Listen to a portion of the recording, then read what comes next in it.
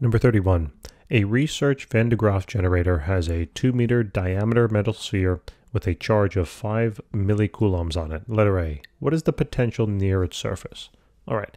So basically what we need to do is we need to assume that this charge that they're talking about, the 5 millicoulombs, is located right at the center uh, of this particular sphere. Okay? And what I did was I basically converted that into coulombs already. You know we need that in coulombs. It also told us that the diameter of this sphere is going to be 2 meters.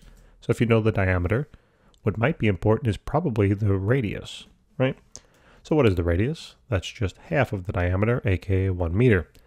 And now what they're asking is they're asking, what is the potential out here, near its surface, right? The V. So we need a formula that relates charge, distance relative to that charge, to the voltage. And it looks like this equation over here is perfect, right? The voltage or potential is equal to the electrostatic constant K multiplied by the charge that's producing that potential divided by the distance between the charge and the point that we are measuring the potential. Plug it on in, right? K is going to be 9 times 10 to the ninth. Q is going to be 5 times 10 to the minus 3. And the R value here, which is the distance, is going to be 1 meter. So what do we get? So we're basically going to get 9 times 10 to the 9 times 5 times 10 to the minus 3. And look at that. It works out to be about 4.5 times 10 to the 7th. And that'll be in terms of volts. All right. So that takes care of letter A. Letter B. What is the dis? Oh, excuse me. At what distance from its center is the potential 1 megavolt so this is kind of asking the inverse uh, question.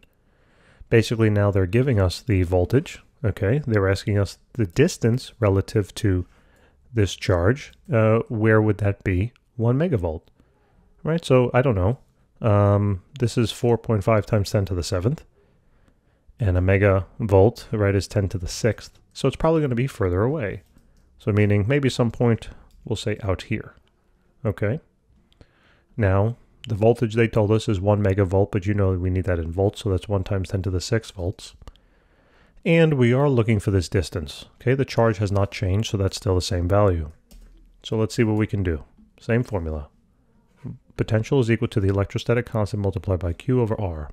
So this time it's going, well, why don't we just solve this for R right away? All you got to do is just do a simple cross multiplication. Watch, just move these two variables. There it is. Did you think someone was knocking at the door? I'm not even sure what that sound was or why I did it. No clue. In any case, here's the formula. So this is 9 times 10 to the ninth times then the charge, which is 5 times 10 to the minus 3. You got a little loony after you do so many problems for so long, right? And then the voltage. So this is 1 times 10 to the sixth. All right, so let's plug that into the calculator. So it's 9 times 10 to the ninth multiplied by 5 times 10 to the minus 3 then all divided by 1 times 10 to the sixth. And it looks like it's 45. So 45 meters. And that's kind of what we expected, right? Not in terms of the actual number 45, but we knew it was going to be greater than the 1 meter. That's it. And then, oh god, letter C. An oxygen atom with three missing electrons is released near the Van de Graaff generator. What is its energy in mega uh, electron volts at this distance? Okay. So, hmm. Um, where am I going to show this? so why don't we do it over here? Let's, uh, this little dot will represent the oxygen with three missing electrons.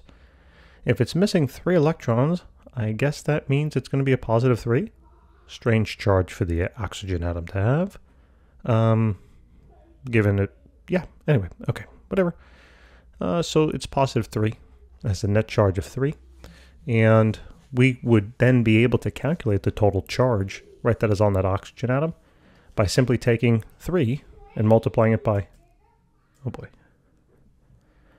Huh, I thought it was nap time and I'd be able to get a video done, but um, my son has a, a different idea, I guess. So 3 times, so anyway, find the charge, find the charge. Where are we? Okay, distractions all over the place. So it's going to be 3 times 10 to the I, I don't even know what I'm doing. so three, 3 units of charge times the value of each unit of charge, which is 1.6 times 10 to the negative 19 coulombs, right? That's the charge of a proton or an electron. So if I multiply this on out, right, 3 times essentially 1.6 is going to be uh, 4.8. So that's going to be 4.8 times 10 to the minus 19th coulombs. That's the total charge now of that uh, oxygen atom. And now what they want us to do is they want us to find, right, near the, okay, um, it says re is released near the Van de Graaff generator. So I would have to assume, like, what does it mean by near? I'm going to assume they're meaning like right at its surface, basically. All right, so I know the potential already at that point because we calculated that before, right? Here's the potential at that point, okay?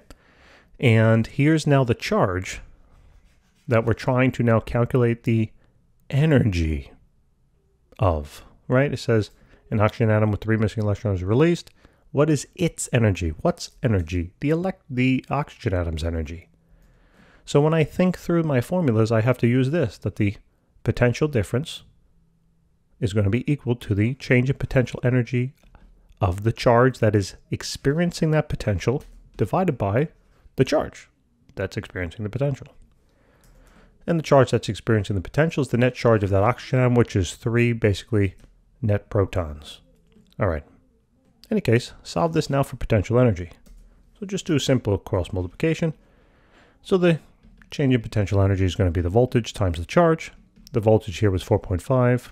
That looks like an 8. 4.5, actually it was an 8. 4.5 times 10 to the 7th, multiplied by the charge now of 4.8 times 10 to the negative 19th. And what do we have? Let's see.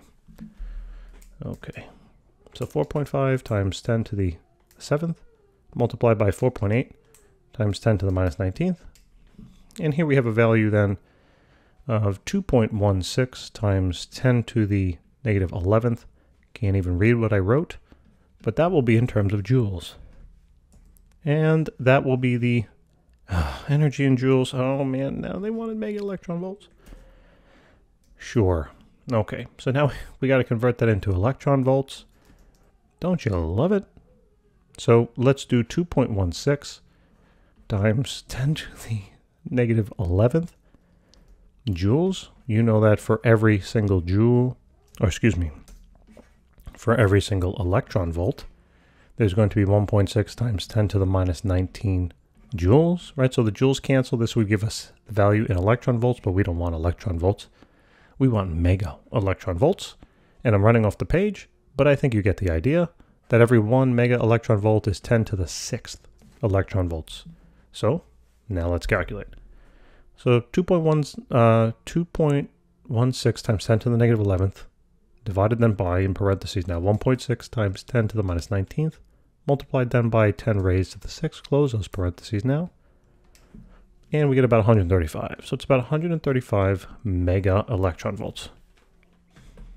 And finally, guys, thank you very much for tuning in. I appreciate it. I really do hope this problem helped. And if it did, give us a hand. Hit that subscribe button like button, and maybe even tell some of your classmates. All right, we really do appreciate it so much. Thank you for watching. Take care.